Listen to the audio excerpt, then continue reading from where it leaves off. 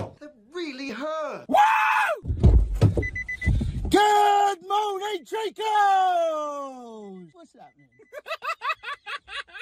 Fuck's sake. It's here. It's now. It's game day. And here we are once again, ladies and gentlemen, boys and girls, children of all ages. It is another all or nothing Letchworth Garden City Eagles. As we welcome Thame United reserves, who will be travelling down the A40. It'll take them about an hour and 20 minutes to Pixmore playing fields, where it's Letchworth Garden City Eagles v Thame United reserves in this Spartan South Midlands Division 1. Just uploaded a video last night. How long is this season? Why can't it be like the Greenland Football League? Their whole season is over in a week. Six teams playing in five days. I will take that all day long. You imagine all that time to do pre-season and you will be fit as fuck. But anyway, that's another chatting. Bollocks. Let's get into football news.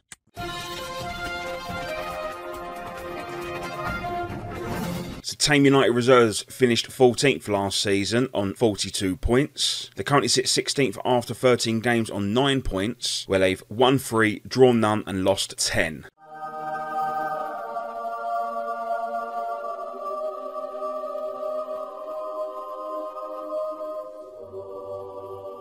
This is Calvin Evans' first season in charge, where he's currently had 13 games, winning 3, drawing none, and losing 10. Because I just said that, but it gives him a win percentage of 23.077. Very technical.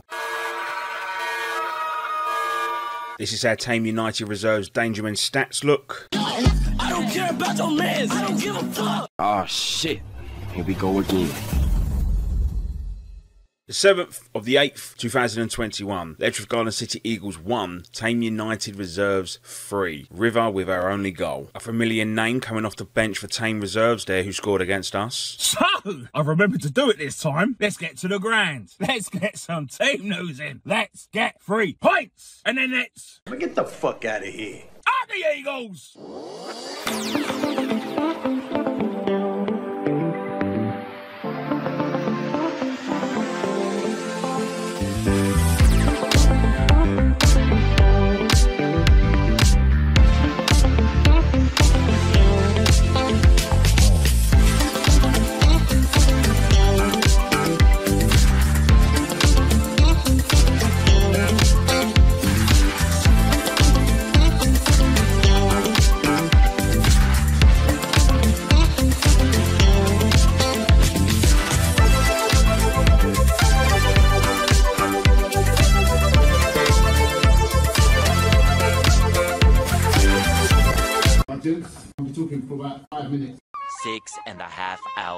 Later. Nathan noticed it as it was happening. Obviously, Matt got it on camera, commented on it. Our goalkeepers commented on it. Everyone saw the fact that we're not being brave and putting pressure on the ball, especially in and around our box. There's a phrase called fight or flight. We've got too many flighters. Fighters are on the front foot, whether that you be in defence, midfield, or up top. Our first option is to do that. That's not being brave. The more times you go backwards, the more territory you give it, the more stretched we are, and then we can't get out. When you think about it, when you was born, you've had sight, you've had hearing. If anyone's got a disability, I didn't know about it, so no disrespect. And you've had the ability to be able to speak. You've honed in on these skills throughout your life. So please make this make sense. Why on the football pitch you guys can't talk? Why on the football pitch you lot can't see an easy pass? Someone's giving you information, you don't listen to it. Be standing from here to Matt, and I have to scream at this guy three times for him to actually acknowledge and turn around and look at me. You're not aware of what's around you. You're playing football blindly. You've got to utilise the senses that God gave you, depending on what religion you're in. All of you can talk because before I walked in, everyone was talking. I need to hear you from the sideline. I need to see it. So today I want to see three things. I want to see you on the front foot. I want to see you in people's faces. I want to see you listening to information. I want to see hear you giving information. We've been scoring a lot of goals, but we defend like crap. If you look at our stats, even last year, the amount of goals we're conceding is actually criminal. And we're looking to progress. Defensively, as a unit, we're not enough. You've got to see where the danger is and engage. At certain times, you're going to have to put your body on the line. Defenders, you want to stay on their feet and stay dry and clean. That's not what defending's about. Defending is putting your sleeves up and going to war against your opposition. I missed the point, so I'm going to do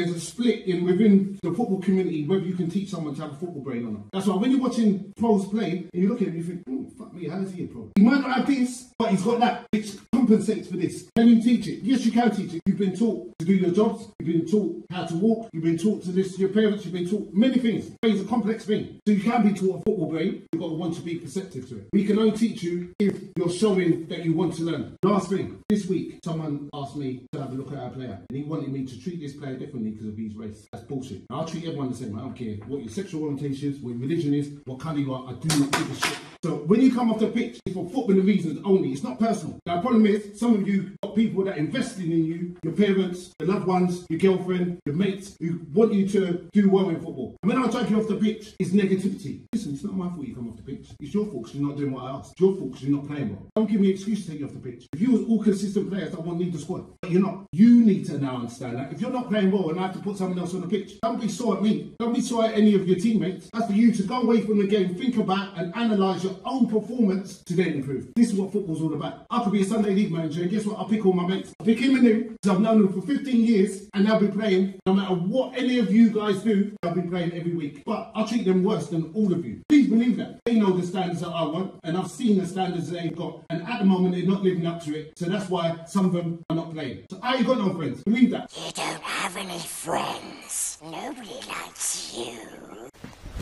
Emotional damage. I ain't got no friends. I ain't got no favourites. we can only succeed if we're a team unit and we understand decisions I make are going to be hard. The information that I get, I have to take on board, and we're here, we win and lose as a team. Get your heads on it because we need three points. Two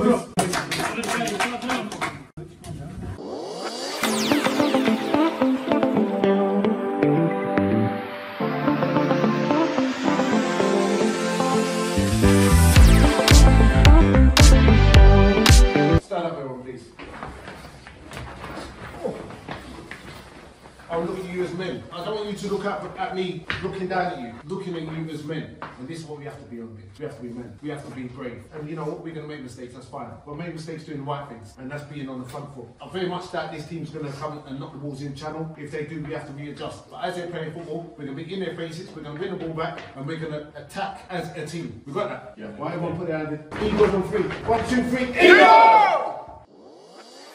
Darryl Reed, goalkeeper. Flag has just gone forward. Abindoy Sani, defender. Benson Thomas, defender. Theo Knox, defender. Sam James. Danny Charles, midfield. Ollie Trott, midfielder. Harry Dolan, midfielder. Sonny Coughlin, midfielder. Right, centre forward. Richard Marvel, defender. Luke Schimmel, midfielder. Tyrese Oates, defender. Georgie Williams, midfielder. Do you want a balloon, Georgie? Referees give the signal for us to get the game underway.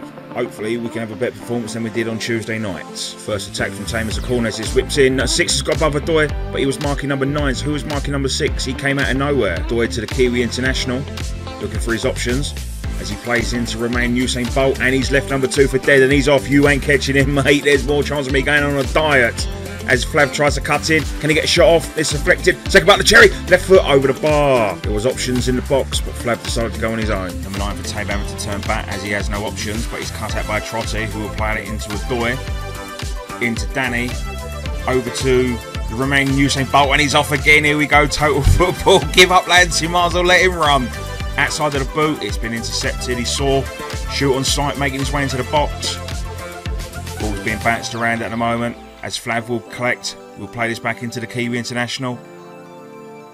Over to Slabhead. Where's his options? Into Sammy James. Back into Trotty, looking for his options. That's taking an oral bobble away from H. Daryl to clear. Look for Danny. That's a push of the back ref. You're looking right at that, but you looked away quicker than I can place my order at best kebab. The remaining Usain bolts off again. Two players are trying to double up on him this time. You've got no chance as he cuts in on number eight. Lucky deflection off of number two. Little cut back. Played it into the menace. First time effort is taking the deflection. As Thame looks to recover. Drag this ball forwards. Number nine wants it to feet. Let's have a look at the close feet there. But it's broken down, buddy. Who? Who is it? It's the Kiwi International. He's marching forward. He's played a 1-2 into shoot on sight. He don't fancy it from here, does he? He's only gone... Ah, he's gone and locked him. Look at that. Can you believe it? Talk about start a move and finish one. Free kick to Letchworth as it's played into shoot on sight, who still thinks he's playing for Thame because he's done a defending header. You're supposed to do that in our box, not their box, you sausage. A little bit of drama has unfolded as Thame are now reduced to 10 men. The referee has gave him his marching orders. And here it is from another angle. Originally he was sin binned. Reason, he didn't have a captain's armband on. As he's off, he's taking his shirt off, He's seen his armband still on his arm, and that's what he's just thrown at the ref. He's thrown his armband at the ref. Referee's decided to say, none of that, son. Off you go. A long ball played over to shoot on sight. As he chests it down, edge of the area. He's had a shot on sight. Thame reduced to 10. Can we double a lead as the menace is played into shoot on sight? And it's saved by the keeper's legs. He should have done better with that one. Danny to nick this. Play it into the Romanian Usain Bolt who looks to lift this. Over the top to shoot on sight, who's ducked well before the ball's even reached him. The menace has had a shot. Short this handball ref. Yes, it's a penalty. Thame cannot believe it. But it is all day long a penalty. In all fairness, I think we should be awarded 10 penalties for that. Disgusting behaviour from a footballer. It's just not acceptable. You got yourself down to 10 men and now you want to give penalties away. Referee has blown. The menace to step up from 12 yards. It's saved. Oh, hang on. Quick to the rebound. Yes, it's 2 0. Well done. Very slow to react from Thame players. Shoot on sight, almost there to nick it just in case. Number 10 for Thame looking to bring this down and take on Sammy James. He has faked once. He's dropped the shoulder. He's beating him. He's got a shot off, and Daryl will push for a corner. They're taking a short corner as they knock it back into number 8. Looking for it. I'm not sure if that was a cross or a shot, but either way, that will be a goal kick. Free kick to Thame just before half time as 8 whips that in. That's away by the Kiwi International. And with that, the referee does blow for half time. 2 0 against a pretty average side. When they went down to stay with, we go all over the place. I don't understand it. Theo, you actually like it today. I get you're a young player, but every time the ball's in around you or you put the ball at your feet, my heart goes. Just something that needs to be addressed. Sammy get beat too much, too easily. In the middle of the park, I get aggressive. Sammy, right wing back, people dancing around you like the music's playing. Don't understand it. I've got Sonny, who's up there for a reason, so he can express his skill set. He's isolating the player here, running, running, running, isolating him, open up and then the right the way across there instead of going for goal. Not too sure why you made that decision. I need you to be direct. In the middle of the park, Nathan's doing a lot of the talking for you. We got the ball here, Danny might get the ball, each screen, switch the play, switch play. No, five, six yard balls right there. Then all the space out wide. All the damage has come down the left side. So we have to use a bit for the pitch. Diag ball is on all day long. They got a man down up front. You're being busy, you're doing bits. Not doing enough for me. We're still too deep. I don't understand it. I do not understand it. Adoy, please, you should be a pro. When you come here, anyone comes here with a CV, you've got to live up to this CV. Whether you talk or not, if you're at a pro game, you've got to use your voice. I'm asking you to demand the players to stay high. I've got to push the midfield. Get off my toes, get off my toes, so we can push up so then they can engage higher up the pitch. But it's not happening. But it needs to happen. We're playing against a poor side, if we're playing against a good side, we'll be in trouble today. You would have put us in trouble as well. Second half, I expect you to fucking smash your team to pieces. I will be making changes because I'm not happy with what's going on. Second half, be brave, be more attacking, and utilise the pitch properly. Nave. The shape's been a bit better. Make sure we're not staggered. We've worked out the last sort of 10 15 minutes. We're not covering around. If a pass ain't on, don't force a pass. Just turn around, just fucking recycle it. We need to go back to Daz. And the referee signals for Thame United reserves to get this second half underway. Corner to Thame. As shoot on sight is decided to wrestle with number six. That could have been a penalty as the ref was looking at that, but Dempsey was beaten for the header. The mullet from 35 yards out. Number six to stick his bonce on that one. Don't know where the keeper was going. Corner to Letchworth. As shoot on sight's missed it. Number six has played it into the path of him. He's dived right in shoot on sight and given away a free kick. Not sure why he can't believe that. That's a book. Doyd to play this ball forwards. That's into the path of H, who has a touch. That's a beautiful one as he drags it to the side. The shot off. Would have been a beautiful goal. That. Danny to play this over to Sammy. Sammy looking for his options as he plays the ball into the box. Keeper's dropped it. Anyone quick enough to react? I knew the keeper is. Free kick played in by Thame. As the Doy wins the first header. Daryl. Well, that's a foul, surely, ref. What are they trying to do? Get themselves down to nine men. Get the game abandoned. Sammy looking to play the ball into the box again. Over to the top to Gorgeous George, who's knocked that back to Mullet, who's added a touch. Into the Menace, who laid it off to Danny. And that's a save by the keeper. And that's a strong hand to push that wide. But it was offside. Harmless. The menace has just been put through. He's running wild. Three players around him. And he's put it in the back of the net. He scored two in a day. It's 3 0 Letchworth. We are going to piss this World Cup in Qatar. Southgate, here's your boys. Don't pick 72 fucking right backs. This is the squad you need to be taking. Thame are not giving up yet as they are looking to try and pull one back, even though they're down to 10. Should be down to 9 as a deflection plays over the gorgeous George. Referee, come on! What is this? They are definitely trying to get it abandoned and down to eight men. The menace is definitely running wild as he looks to cut into this box. Eh, he's just over the bar. He could have had that trick today. And that's the end of that. Electric Garden City Eagles 3, Thame United Reserves nil. Three points. That's what we come here for, and that's what we got. It's been hard, soft pitch. We've done what we needed to do, but we have to try and take on the good things from the first half into second half. On Tuesday, I'm not giving you the time off. We've worked hard as a team to be in this position, and we have to keep the momentum going. Matt, and anything? You know what's coming, right? so maybe let, let Nate grab it, because you know what's coming. Get that song on!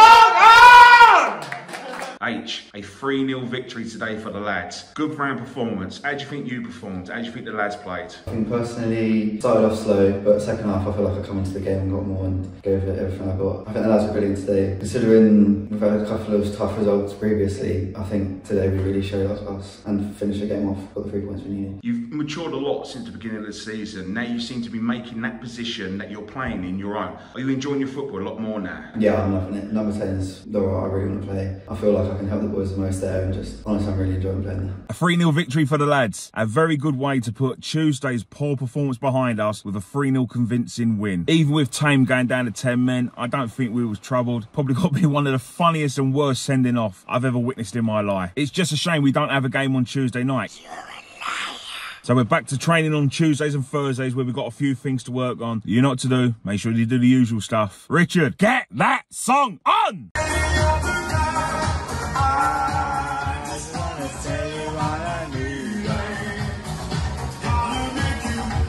Sang. If you up, we'll let you down. We're gone around, without you. Say goodbye.